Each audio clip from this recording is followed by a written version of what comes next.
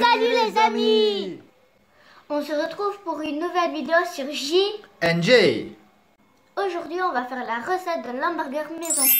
Ce sera la recette du bacon burger. Et voici les ingrédients.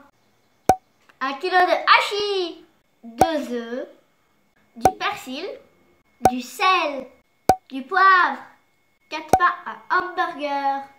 La fois prochaine, on fera notre pain nous-mêmes. Et du bacon ou du lard salé. De la sauce barbecue et des crudités sur votre hamburger si vous désirez. Voilà, on est complet. Et surtout, n'oubliez pas de vous laver les mains. Dans un grand récipient, mettez le hachis. Et ensuite, vous y incorporez deux œufs.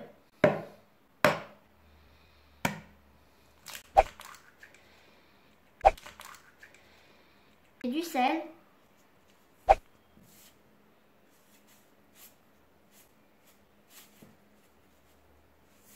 Du poivre.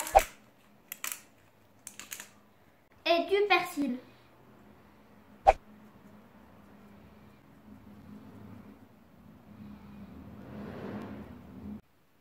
Et voici ma partie préférée, mélanger le tout.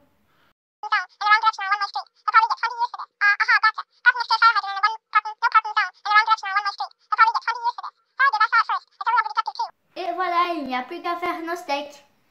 Prenez un peu de hachis, faites-en une boulette. Ensuite, aplatissez-la pour lui donner la forme de l'hamburger.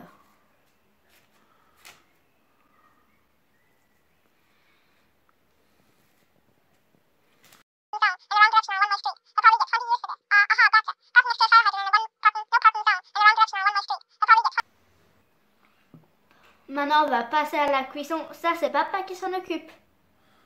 Ensuite, on découpe le lard ou le bacon pour qu'il ait la taille de l'hamburger. On prépare une petite poêle. On ne met pas de matière grasse surtout. On le met sur thermostat 7. On met la petite sécurité.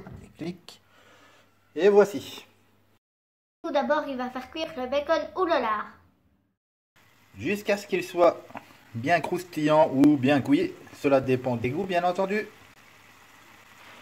Et on n'oublie pas de retourner régulièrement.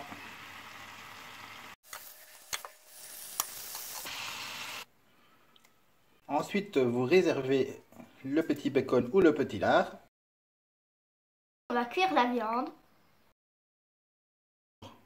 D'abord, on va mettre un fin filet ici dans la poêle. On va prendre nos petits hamburgers.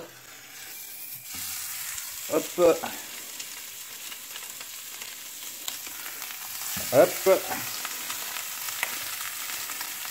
Et place pour un troisième. Allez, c'est parti. Et voici. Donc la cuisson se fait à feu moyen. On retourne régulièrement nos petits hamburgers. Ce temps, on peut découper nos petits pains et les passer au toaster. N'hésitez pas à éponger vos petites viandes afin d'éliminer le surplus de graisse.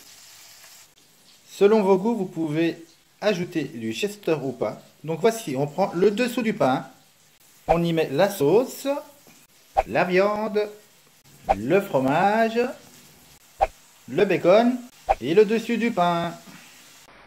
Il y en a une douzaine, ce qui fait 6 hamburgers double viande.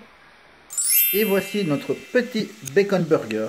Maintenant, vous pouvez y ajouter de la salade, des tomates et garnir à votre idée. Ajoutez-y une petite pique au milieu afin que la viande ne puisse se glisser. Vous avez aussi la version de viande pour les grands gourmands.